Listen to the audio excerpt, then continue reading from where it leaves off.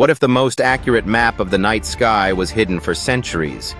In the 15th century, Ulugh Beg, a Timurid ruler in Samarkand, defied expectations, not with armies, but with his obsession for the stars. He built a colossal observatory, one of the largest in the world before telescopes existed, and gathered the era's top mathematicians and scholars. Using only their eyes and ingenious instruments, Ulugh Beg and his team meticulously charted nearly 1,000 stars with a precision that would not be matched in Europe for over 200 years.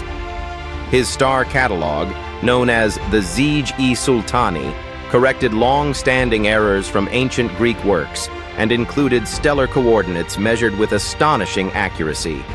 However, after Ulugh Beg's assassination in 1449, his groundbreaking achievements were nearly erased amid political chaos.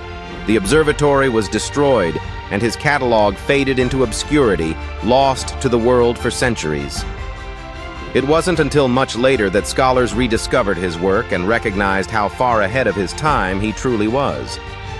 Ulugh Beg's passion and precision reshaped humanity's understanding of the cosmos, only to be forgotten almost as swiftly as it had appeared.